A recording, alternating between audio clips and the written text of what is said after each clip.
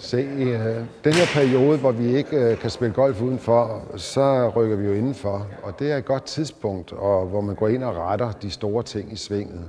Ting, som man i sæsonen måske ikke helt har tålmodighed til at få rettet i det, det ofte medfører, at man ikke rammer bolden særlig godt i en periode. Men øh, det, man går ind og kigger på, det er positioner i svinget. Og en af de vigtige positioner, det er, hvordan kønnen den står i toppen af tilbagesvinget.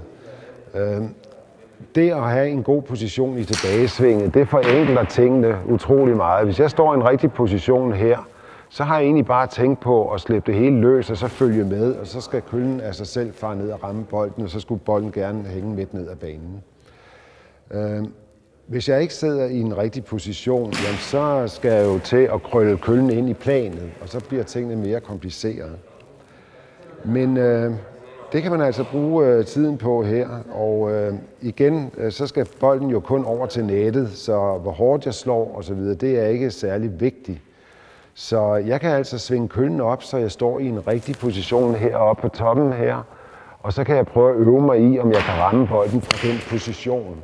Så jeg efterhånden vender mig til, hvordan det føles at, at svinge ned igennem bolden fra en rigtig position i forhold til den position, jeg, jeg var i før. Den position, vi svinger køllen tilbage i, det er jo det, vi ligesom har vendet os til, at det er der, den skal være, for at man kan ramme bolden. Og alt andet, det føles forkert. Så vi har rigtig mange, når de svinger køllen tilbage, jamen, så bliver det meget stejl, det vil sige, at skulderdrejningen ikke er stor nok. Og for den position, der vil jeg komme ned i en meget stejl vinkel. Men øh, hvis jeg er ude på træningsbanen, står og retter folk og får dem til at svinge køllen, hvor den egentlig skulle være, så er det lige i det her tilfælde faktisk betydet, at de første slag de bliver toppet. Så det vil tage lidt tid, inden man ligesom finder bolden dernede igen, når man skal svinge fra en uvant øh, position. Men øh, det her det er altså et godt tidspunkt at få, få rettet de ting på, sådan så at øh, når vi når ud til foråret her og skal ud og og spille på banen, jamen så rammer vi altså bolden bedre, end, end vi nogensinde har gjort.